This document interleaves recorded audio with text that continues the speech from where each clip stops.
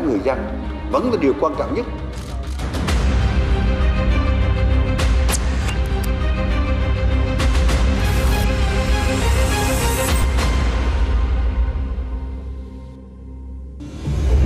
Ngày 6 tháng 3 năm 2020, Ban chỉ đạo phòng chống dịch COVID-19 công bố xác nhận một bệnh nhân mới, bệnh nhân số 17 dương tính với COVID-19. Chỉ trong 2 ngày mùng 6 và mùng 7 tháng 3 năm 2020, tin tức về bệnh nhân số 17 đã lan truyền một cách chóng mặt. Chỉ trong 2 ngày thôi thì ờ, trên không gian mạng đã xuất hiện đến hơn 80.000 tin liên quan đến đến đến tình hình dịch bệnh và và và cô bệnh nhân mang số 17 này thì điều này nó gây cho xã hội những cái thông tin tung tin thất thiệt như là là cô ấy đã từng tiếp xúc uh, với rất nhiều người khi tham gia cái sự kiện ờ, khai trương Uniqlo hay là đi ờ, đến dự các cái quán bar tại phố Tạ Hiện những cái thông tin như thế này thì nó gây ra cái sự hoang mang trong quần chúng nhân dân và mưa sáng hôm sau, Hà Nội náo loạn bởi dân chúng đổ xô đi mua lương thực thực phẩm tích trữ. Không ai lường trước dịch Covid-19 sẽ có nguy cơ lan rộng nếu tập trung đông người như thế này. Chúng đã triệt để lợi dụng cái, cái, cái, cái, các cái tính năng ờ, trên ờ, mạng xã hội để mà tuyên truyền thông tin ờ, như là uh, bình luận, như là chia sẻ hoặc là livestream truyền hình trực tiếp trên trên trên các cái tài khoản của cá nhân hoặc là trên các cái hội nhóm cái thông tin này nó gây ra cái, cái cho người dân là không không phân biệt được đâu là thông tin thật đâu là thông tin giả và đâu là thông tin chính xác để người ta có được cái sự chủ động trong công tác phòng ngừa ngăn chặn Chị Oanh, quản lý hội nhóm kín của nhóm cư dân một chung cư với khoảng 600 thành viên. Liên quan đến sự kiện bệnh nhân số 17, mỗi ngày chị tiếp nhận hàng chục tin trong hội nhóm. Có những thông tin mà chưa được kiểm chứng. Ờ, thì những cái thông tin đó thì cũng gây ảnh hưởng rất lớn đến ờ, cộng đồng cư dân và nó gây, cũng gây hoang mang cho cư dân. Thì để ngăn chặn hoặc là để cấm người ta tiếp nhận những thông tin đấy thì cực kỳ khó. Và tùy vào khả năng nhận thức của từng người để có thể chọn lọc thông tin thôi.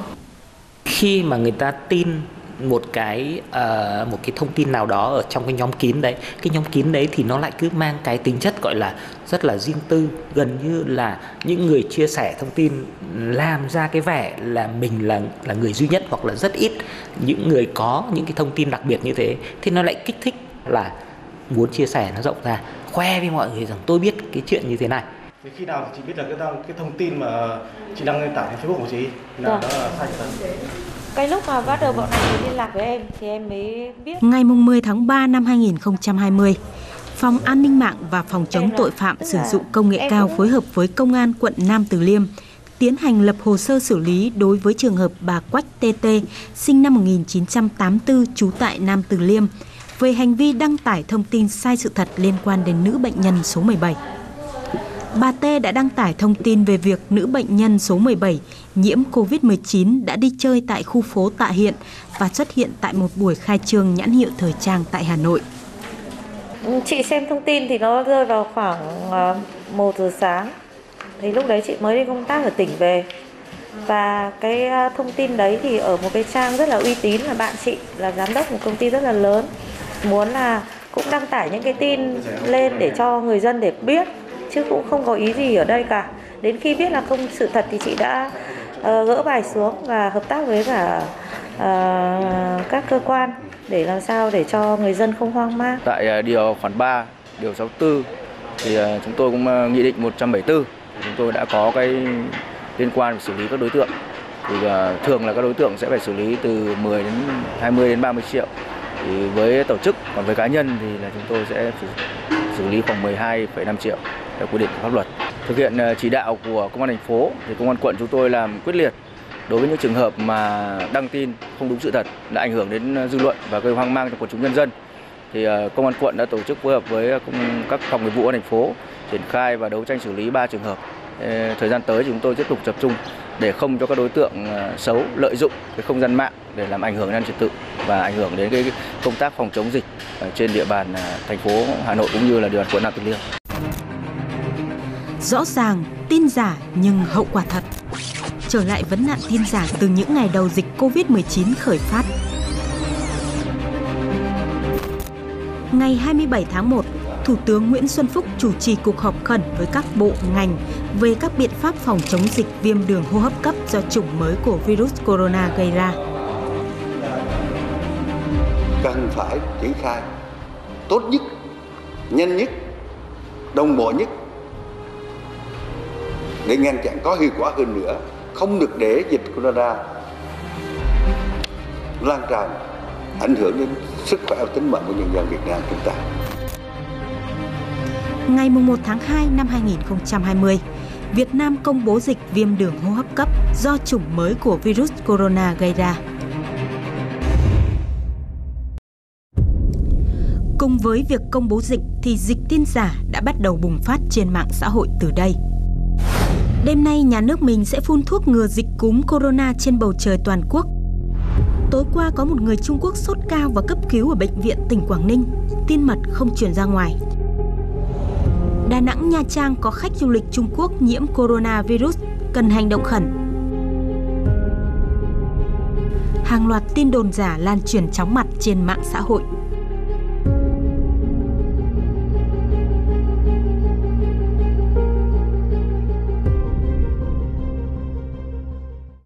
Người ờ, có đưa thông tin về cái việc mà ừ, Hà Nội sẽ phun thuốc ờ, trên bầu trời của Hà Nội vào những, vào một thời điểm nào đó. Thế thì ừ, khi nhận được thông tin đó thì ừ, có rất nhiều người nghĩ là đấy là sự thật. Nhưng mà ngay lập tức thì nhóm ban quản trị xác xác thực cái thông tin đó và ngay lập tức yêu cầu cái ờ, người mà đưa cái thông tin đó đính chính lại nguồn thông tin. Chúng tôi phối hợp với các cái nền tảng xuyên biên giới để mà ngăn chặn ờ, gỡ bỏ những cái thông tin nói sai sự thật. Đối với những cái trường hợp mà nghiêm trọng thì ờ, bên ờ, lực lượng thông tin truyền thông sẽ chuyển hồ sơ qua cho lực lượng công an để xử lý với một cái tinh thần là kiên quyết không để xuất hiện một cái ổ dịch thông tin ở trên mạng xã hội. Nhiều nghệ sĩ lớn có sức ảnh hưởng tới công chúng cũng không ngoại lệ. Các nghệ sĩ này đều bị xử lý vì chia sẻ tin giả về dịch bệnh. VTV1, kênh thời sự quốc gia thuộc Đài truyền hình Việt Nam, luôn phải làm việc với cường độ cao. Các phóng viên luôn phải xử lý và phản bác thông tin giả tràn lan chóng mặt trên mạng xã hội với mong muốn đưa thông tin chính xác và kịp thời nhất cho người dân để có biện pháp phòng chống dịch COVID-19. Hệ thống tin tức của VTV gồm có những cái những cái bản tin, những cái chương trình tin tức thời sự trên VTV1, trên ờ, VTV4, ờ, thậm chí là cả V sáng của VTV3, rồi V8, V9, toàn bộ hệ thống tin tức đấy nó được tiếp nhận thông tin một cách cực, rất nhanh chóng từ các cơ quan chức năng. Bởi vì sao? Bởi vì trong tất cả các ban chỉ đạo thì bao giờ cũng có có thành viên của của của Đài truyền hình Việt Nam cùng với các cơ quan thông tin báo chí lớn. Và dưới ở đấy nữa thì Đài truyền hình Việt Nam có cũng có những cái tổ trực tiếp tiếp nhận thông tin từ những thành viên ban chỉ đạo đấy liên tục online và thậm chí là cử uh, những người có trách nhiệm ngoài thành viên ban chỉ đạo tham gia những cuộc họp của ban chỉ đạo và có đầu mối với tất cả các cơ quan chức năng, từ bộ y tế, bộ công thương, bộ công an, quân đội ờ, bộ thông tin truyền thông, thì tất cả những cái đầu mối đấy nó sẽ được tập trung về trong cái khối tin tức của của VTV và từ cái khối tin tức đấy nó lan tỏa ra tất cả các đầu mối tin tức khác nhau. Đồng thời, nó không có độ trễ. Đối phó với tin giả nó khó nhất ở cái chỗ là gì? Chúng ta có thực sự tin vào cái nguồn tin của chúng ta hay không?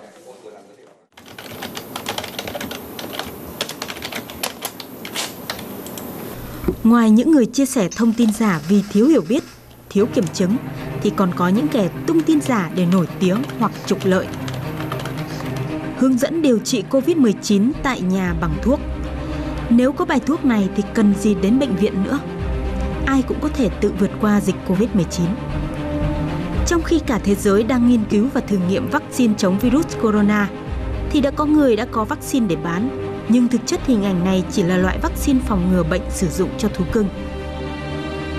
Nó có rất nhiều tầng lớp tin giả và nó có tác động đến rất nhiều tầng lớp xã hội. Ví dụ có những người tung tin giả uh, bằng một cách gọi là muốn nổi tiếng uh, bọn tôi đánh giá là đấy là cái tầng nấc đầu tiên à, tung những cái thông tin giả ấy để câu view để thu hút à, người tham gia vào cái không gian mạng vào những cái trang của họ à, để gây cái sự chú ý à, mục đích là để như vậy là họ kiếm lời à, đằng sau cái những cái à, thông tin giả mạo ấy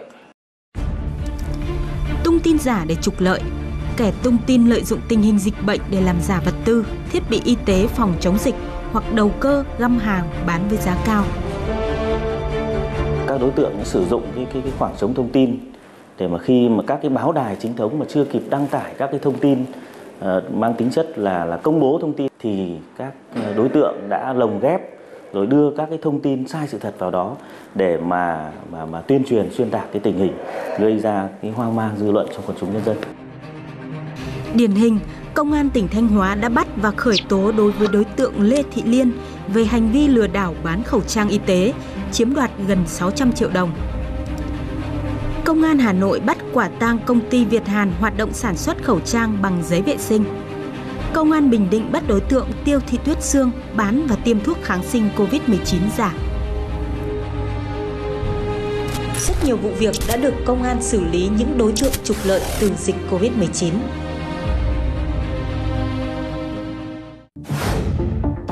Ngày 25 tháng 2 năm 2020, một tháng sau khi có ca bệnh đầu tiên, bệnh nhân thứ 16 ở Việt Nam xuất viện.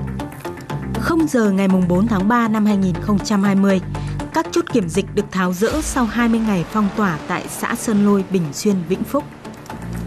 Những tưởng có thể đẩy lùi được dịch bệnh và vấn nạn tin giả, nhưng không, sự kiện bệnh nhân số 17 ghi nhận vào ngày 6 tháng 3 đã châm ngòi cho cuộc chiến chống dịch và chống tin giả bùng phát trở lại.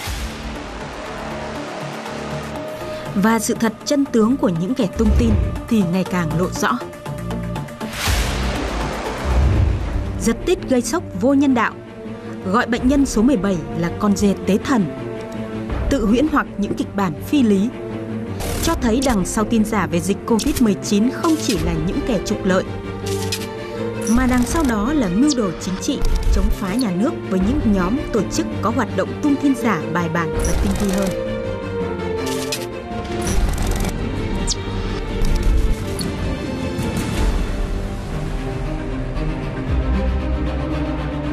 Luận điệu cho rằng Việt Nam bưng bít 16 ca nhiễm bệnh đầu tiên và đến ca 17 mới công bố quả là hết sức phi lý.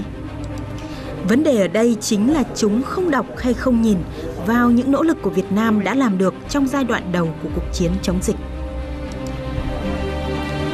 Nỗ lực khoanh vùng dịch, thực hiện bốn tại chỗ, cách ly xã Sơn Lôi hay thông tin các ca bệnh đều rất rõ ràng. Và điều đó đã được quốc tế ghi nhận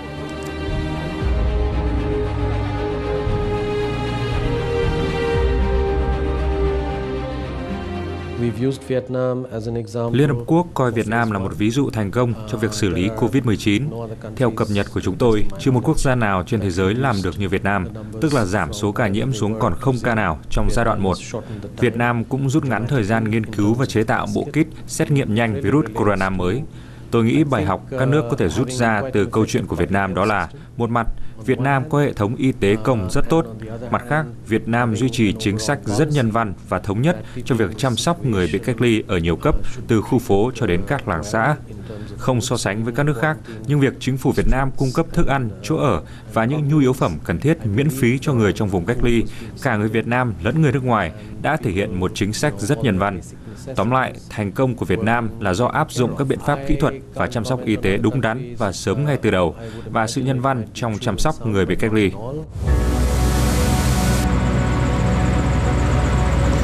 Việt Nam bưng bít thông tin về dịch bệnh, đó là luận điệu xuyên tạc, điển hình của các tổ chức phản động chống phá Việt Nam. Thử hỏi, nếu như Việt Nam bưng bít thông tin về dịch mà không cảnh báo cho người dân, để dịch bùng phát thì dịch cũng không chừa một ai, kể cả những kẻ đang núp sau bàn phím.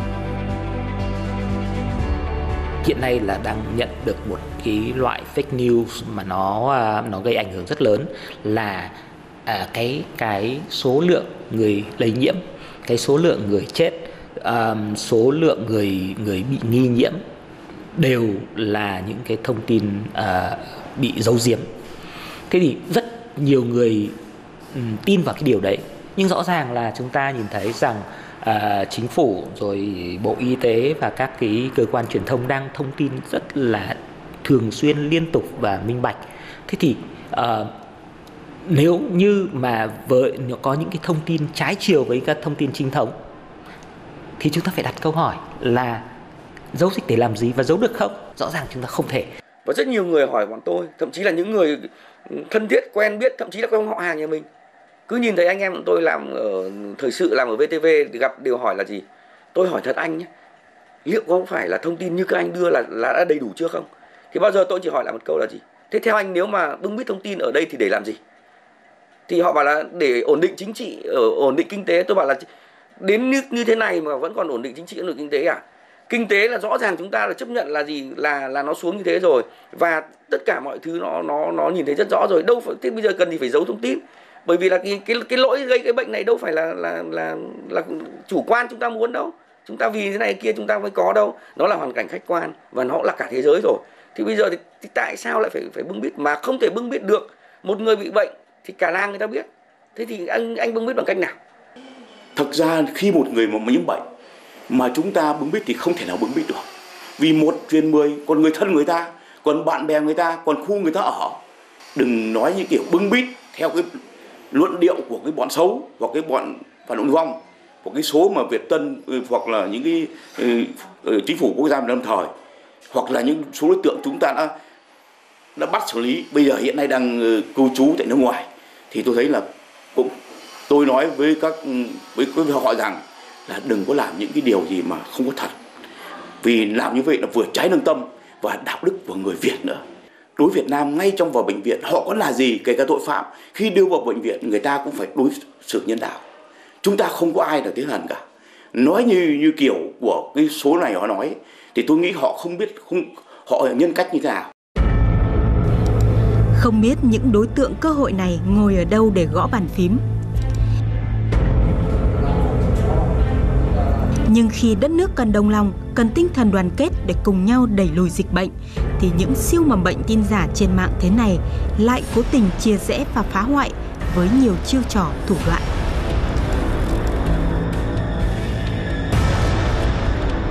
Nó là dịp để các thế lực thù địch hoặc là những những cái người những cái kẻ mà cơ hội chính trị cố tình lợi dụng những sự việc như này để nói xấu chế độ, nói xấu đảng nhà nước, giảm cái vai trò lãnh đạo của đảng rồi rồi cố tình khoét sâu vào các mâu thuẫn để mà làm cho mất niềm, niềm người dân mất niềm tin với với, với chế độ. Họ lợi dụng vào cái việc phòng chống dịch bệnh mà cụ thể ở đây là cái dịch Covid-19 để như vậy là chia rẽ cái mối quan hệ đối ngoại à, của Đảng, Nhà nước và nhân dân Việt Nam với các nước mà đặc biệt là với các nước láng giềng. À, trong khu vực và các nước trên thế giới. À, từ những câu chuyện đóng cửa biên giới hay không đóng cửa biên giới các doanh nghiệp nước ngoài làm ăn ở Việt Nam như thế nào trong điều kiện mà trong hoàn cảnh dịch dã diễn biến phức tạp như thế này. Thì tất cả những vấn đề liên quan đến chủ trương chính sách của Đảng, Nhà nước Việt Nam thì các thế lực thù địch, các tổ chức phản động lưu vong đều lợi dụng à, để như vậy là xuyên tạc, bóp méo và chống phá. Các thế lực thù địch phản động, à, đặc biệt là các tổ chức phản động lưu vong, cũng lợi dụng câu chuyện phòng chống dịch bệnh COVID-19 để như vậy là tuyên truyền, kích động dân chúng, à, để như vậy là gây ra những cái bất ổn về an ninh trật tự xã hội. Các cái tổ chức phản động lưu vong, ví dụ như là Việt Tân, ờ, rồi thì là chính phủ quốc gia Việt Nam lâm thời Ờ, rồi thì tổ chức voi hay là ờ, BPSOS và một số các cái đối tượng ờ, chống đối trong và ngoài nước tuyên truyền các cái thông tin mà tạo thành những cái cái, cái, cái, cái cuộc thăm dò trên không gian mạng để thực hiện các cái nội dung chống phá đó. Mua cái, cái, cái quảng cáo trên cái nền tảng công nghệ Facebook để mà thực hiện cái, cái quảng cáo chính trị tuyên tuyên truyền xuyên tạc cái tình hình dịch bệnh tại Việt Nam cũng như là công kích chính phủ bông bít bưng bít thông tin rồi thì ờ, yếu kém trong cái việc xử lý ờ, tình hình dịch bệnh tại Việt Nam.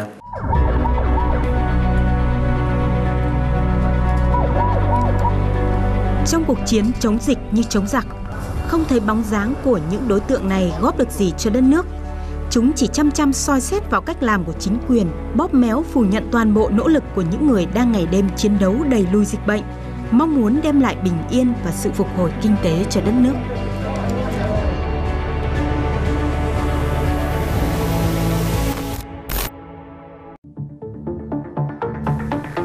Ngày 15 tháng 4 năm 2020 tới đây, Nghị định số 15-2020 NDCP của Chính phủ về quy định xử phạt vi phạm hành chính trong lĩnh vực bưu chính viễn thông, tần số vô tuyến điện, công nghệ thông tin và giao dịch điện tử sẽ chính thức có hiệu lực.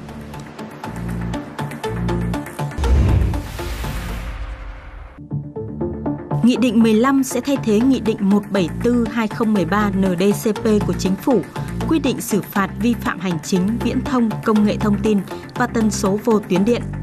Theo đó, Nghị định 15 sẽ quy định cụ thể hơn về xử phạt các đối tượng tung tin giả trên mạng xã hội tại Điều 101. Ở ờ, trong cái Nghị định 174 trước đây ấy, thì quy định về cái hành vi xử phạt vi phạm hành chính ở nhiều cái lĩnh vực nhưng mà chưa chú trọng đến cái lĩnh vực là xử phạt vi phạm hành chính đối với lại các hành vi mà sử dụng các cái mạng xã hội để đưa thông tin sai sự thật lên mạng. Thì ờ, trước đây chúng ta mới quy định chung chung là cũng xử phạt 10 đến ờ, 20 triệu đồng ờ, đối với những cái hành vi đó. Thì trong cái nghị định 10 năm thì quy định rõ ràng hơn là nếu mà các cái tổ chức cá nhân mà sử dụng mạng xã hội ví dụ như Facebook mà đưa các cái thông tin sai sự thật lên thì rõ ràng là sẽ bị uh, xử phạt theo quy định của Nghị định 15 và trong Nghị định 15 cũng quy định về cái việc là các cái tổ chức cá nhân mà đưa thông tin sai sự thật ngoài việc xử phạt vi phạm hành chính thì uh, còn phải là uh, thực hiện các cái biện pháp khắc phục hậu quả ví dụ như là uh, gỡ bỏ các cái thông tin sai hoặc là xin lỗi cải chính thông thông tin Đến nay, lực lượng công an đã xác minh và làm việc với hơn 600 trường hợp, xử lý hơn 130 đối tượng tung tin giả về dịch COVID-19. Không chỉ đối diện với mức xử phạt hành chính, tùy vào mức độ, tính chất hành vi vi phạm, các đối tượng tung tin giả có thể bị đối diện với mức án hình sự lên tới 7 năm tù tại Điều 288 Bộ Luật Hình sự. Hiện nay thì theo quy định tại Điều 288 thì sẽ quy định uh, uh, nếu mà uh, những cái đối tượng mà tung tin uh, thất thiệt uh, về cái Covid-19 ấy, mà thu lợi bất chính từ 50 triệu đồng trở lên hoặc là gây thiệt hại từ 100 triệu đồng hoặc là gây uh, giảm cái uy tín của các cái cơ quan tổ chức thì căn cứ vào ờ, những cái ờ, cái cái thiệt hại hoặc là cái, cái hành vi thu lợi bất chính đó thì cơ quan chức năng có thể xem xét về cái việc là xử lý hình sự đối với những cái đối tượng đó.